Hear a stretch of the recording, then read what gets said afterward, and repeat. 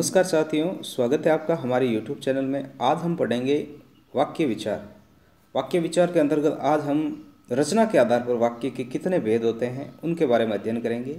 इससे पहले हमने वाक्य को अर्थ के आधार पर पढ़ लिया था और उससे पहले भी हमने वाक्य का जो दो अंग होते हैं, उद्देश्य और विधेय, उसके बारे में हमने अध्ययन कर लिया आज का टॉपिक है रचना के आधार पर वाक्य के भेद। शुरू करते हैं टॉपिक शुरू करने से पहले अगर आप हमारे चैनल पर पहली बार पधारे हैं तो प्लीज़ हमारे चैनल को सब्सक्राइब करें। जो रेड वाला सब्सक्राइब बटन है, उसको क्लिक करें और उसके पास में ये क्लिक करने के बाद में बेल आइकन है, उसको भी प्रेस कर लें, ताकि प्रत्येक नोटिफिकेशन आप लोग प्राप्त हो सके। तो इससे पहले जो तीन वीडियो वाक्य से संबंधित बने हुए हैं, उनको भी आप प्ले लिस्ट में जाकर के देखें। डिस्क्रिप्शन में उनका लिंक है, वो दे दिया जाएगा और उनका भी आप अच्छे से अध्ययन करें। आज का टॉपिक है रचना के आधार पर वाक्य के भेद। वाक्य, जैसा कि हमने पढ़ लिया है कि भाषा की सबसे छोटी इकाई वर्ण होता है और वर्णों के सार्थक मेल को शब्द कहते हैं और शब्दों के सार्थक मेल को वाक्य कहते हैं। शब्दों का जब सार्थक मेल बन जाता है तो एक वाक्य का निर्माण होता है। ठीक है। तो उसके बाद हमने वाक्य के दो अंग पढ़े, उद्देश्य और विधेय। उद्देश्य जो कर्ता ही उद्देश्य होता है और कर्ता की जो विशेषता बताता है, वो कर्ता का विस्तारक होता है। और उसके अलावा जो विधेय होता है, विधेय में कर्म आता है, क्रिया आती है और वो सारे चीज़ें हैं, वो विधेय के अंदर आती हैं। उसके बाद उन्होंने अर्थ के आधार पर वाक्य के आठ भेद पढ़े। जो कल के वीडियो में हमने पढ़ लिया। आज हम रचना के आधार पर वाक्य के तीन भेद है, वो पढ़ते हैं। रचना के आधार पर वाक्य के तीन भेद होते हैं। कितने होते हैं? तीन होते हैं। रचना के आधार पर वाक्य के तीन भेद होते हैं। कौन कौन से? साधारण, मिश्र और संयुक्त। साधारण, मिश्र और संयुक्त। रचना के आधार पर वाक्य के तीन भेद होते हैं, साधारण मिश्र और संयुक्त, साधारण वाक्य। जिस वाक्य में एक ही उद्देश्य और एक ही विधेय हो, उसे साधारण वाक्य कहते हैं। आप सब भली भांति जान चुके हैं कि उद्देश्य किसे कहते हैं और विधेय किसे कहते हैं। तो इसके बारे में ज़्यादा मुझे बताने की ज़रूरत नहीं है, मैं नहीं समझता। और एक बार पुनः बता देता हूँ कि उद्देश्य जो वाक्य के अंदर कर्ता तथा कर्ता की जो विशेषता बताते हैं, वो सब उद्देश्य के अंतर्गत आते हैं। और विधेय विधेय में कर्म, क्रिया और जो पूर्व वाक्य होते हैं पूर्व जो कर्ता होते हैं पूर्व जो भी होते हैं, वो सारे विधेय के अंतर्गत आते हैं। तो जिस वाक्य में एक ही उद्देश्य हो और एक ही विधेय हो, चाहे वाक्य कितना भी बड़ा क्यों ना हो लेकिन उस वाक्य में उद्देश्य एक ही और विधेय एक हो तो वाक्य साधारण वाक्य कहलाता है। तो इस तरीके से हमें ध्यान रखना है कि वाक्य में एक ही उद्देश्य होना चाहिए और एक ही विधेय होना चाहिए। तो नीता खाना बना रही है। नीता क्या है? उद्देश्य है। और बनाना क्रिया है। बनाना क्रिया है। तो अब हम देखें इसमें तो नीता एक ये उद्देश्य है और ये खाना बना रही है, ये विधेय है। तो कोई दूसरा इसमें कोई वाक्य नहीं जुड़ा हुआ है। दो युक्त वाक्यों से जुड़ा हुआ है। यह साधारण वाक्य। मिश्र वाक्य। मिश्र या मिश्रित वाक्य। मिश्र का तात्पर्य यह होता है कि किसी चीज़ को मिश्रण करने के बाद में अगर पुनः निकाल लिया जाता है तो पीछे बची हुई चीज़ का सार्थक अर्थ नहीं होता है। तो इसी तरह से ये अपने इस वाक्य के अंदर भी होता है। जिस वाक्य में एक प्रधान उपवाक्य तथा एक या एक से अधिक आश्रित उपवाक्य हो, उसे मिश्र वाक्य कहते हैं। यानी एक तो क्या होता है? प्रधान उपवाक्य होता है। और एक या एक से अधिक जो होता है वो आश्रित उपवाक्य होता है। यानी प्रधान जो उपवाक्य होता है ना, उसके ऊपर वो दूसरा वाक्य होता है, वो उसके ऊपर निर्भर होता है। उसके ऊपर निर्भर होता है। अगर उस वाक्य को पहले प्रधान उपवाक्य को निकाल दिया जाए तो आश्रित उपवाक्य का कोई अस्तित्व नहीं बचता है। आश्रित उपवाक्य जो उस वाक्य से जुड़ा हुआ है, उसका सार्थक अर्थ नहीं निकलता है। तो इसमें उदाहरण के रूप में गांधी जी ने कहा कि सदा सत्य बोलो। तो इसमें प्रधान उपवाक्य है गांधी जी ने कहा। गांधी जी ने कहा, अब क्या कहा कि सदा सत्य बोलो? अब गांधी जी ने कहा, ये अगर निकाल देते हैं तो कि सदा सत्य बोलो? इसका कोई सार्थक अर्थ नहीं निकलता है। ठीक है? और इसको अगर गांधी जी को भी निकाल लेते हैं तो क्या कहा गांधी जी ने? ये भी पता नहीं है। तो ये जब दोनों वाक्य जुड़ जाते हैं तो एक नए वाक्य का निर्माण करते हैं और ये मिश्र वाक्य के अंतर्गत आते हैं। गांधी जी ने कहा, कि सदा सत्य बोलो।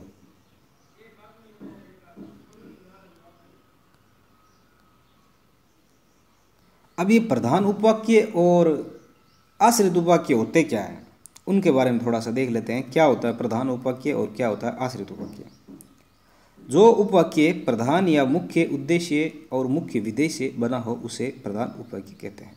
उपरोक्त वाक्य में गांधी जी ने कहा, प्रधान उपवाक्य। यानी जो उपवाक्य होता ना, जो उपवाक्य प्रधान या मुख्य उद्देश्य या मुख्य विधेय से बना हो तो उसे प्रधान उपवाक्य कहते हैं। गांधी जी ने कहा, गांधी जी, ये प्रधान उपवाक्य है।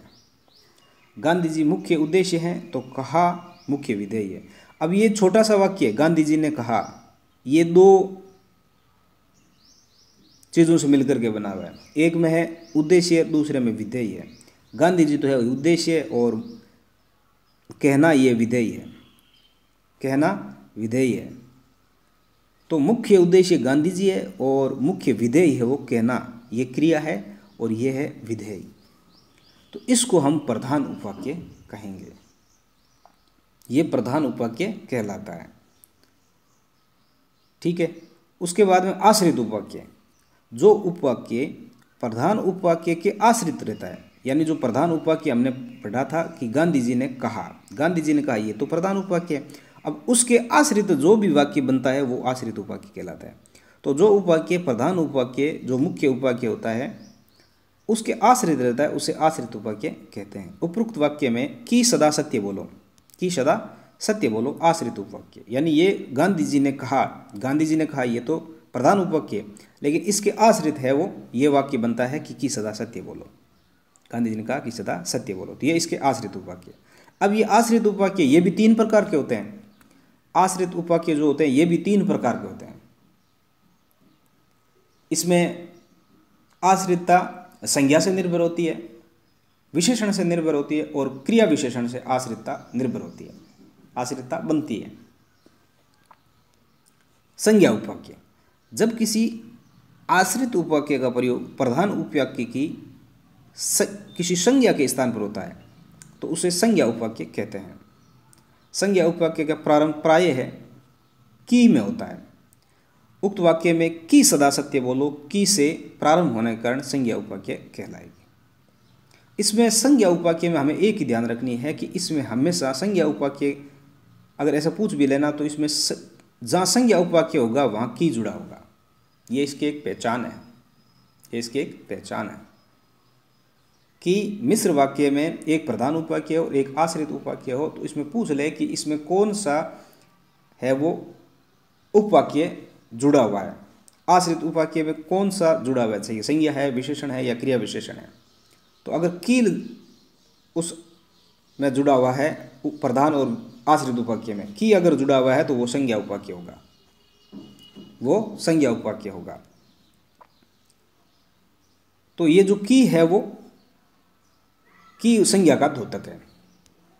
विशेषण उपवाक्य जब कोई आश्रित उपवाक्य जो आश्रित उपवाक्य होता है, प्रधान उपवाक्य के किसी संज्ञा या सर्वनाम शब्द की विशेषता बताते हैं जो प्रधान उपवाक्य होता है, उसके किसी संज्ञा या सर्वनाम शब्द की विशेषता बतलाते हैं तो उस उपवाक्य को विशेषण उपवाक्य कहते हैं।